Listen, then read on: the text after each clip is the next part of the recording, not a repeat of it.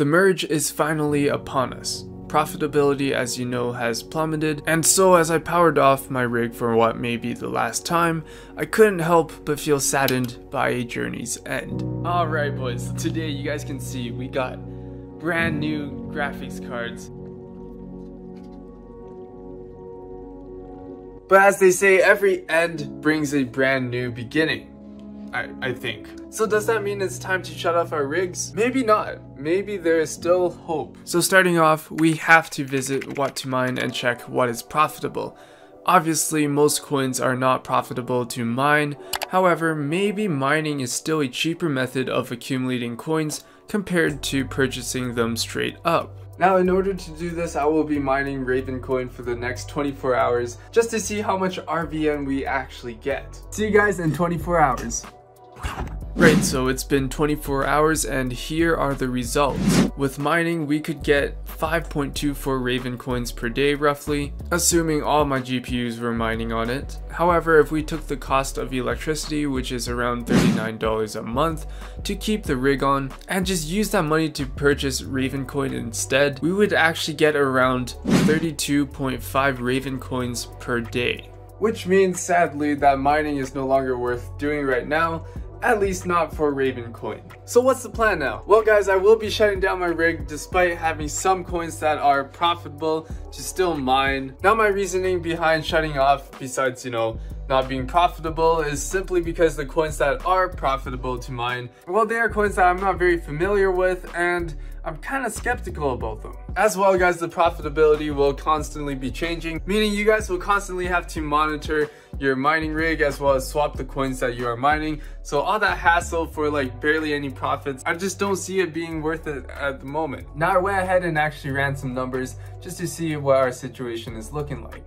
So as you may know, I have not reached ROI just yet. Now taking a look here, you guys can see that the total expenses is roughly around $5,325. Now on our asset side of things, we have three categories, cash, equipment, and cryptos. So we sold some ETH previously for around $374.31. As well, we have around $2,500 worth of equipment at current market prices. Of course, lastly, we have roughly around 0.57 ETH and around 0.0156 Bitcoin which is currently valued at around $1,044.85 during this recording.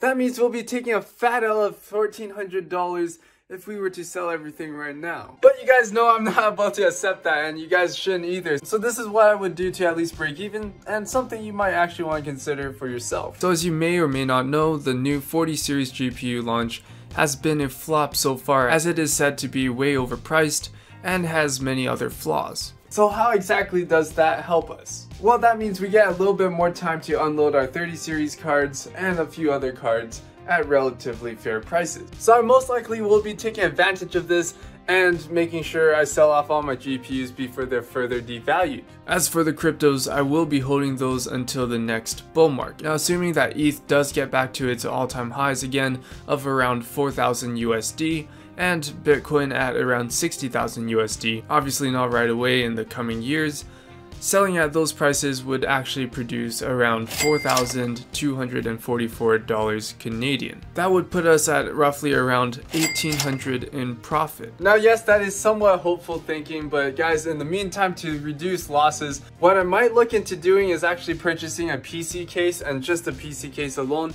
that way we can go ahead and actually use the parts from the miner and build out a gaming PC out of it, which may actually sell for more than the parts alone. So I began listing the GPUs on Instagram and Kijiji. Now I want to go ahead and actually start by selling locally simply because I don't want to be paying shipping fees and also it's a lot less packaging to do. So remember what I said about mining earlier? Maybe there is still hope.